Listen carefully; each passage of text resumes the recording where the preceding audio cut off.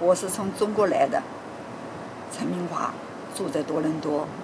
我的律师梦想是希望各个国家都能够了解一下巴西总统罗斯福五月二十五日否决了新森林法的决定。这个这个决定不仅对巴西的环境有积极的作用。而且对整个地球的环境产生非常重大的影响。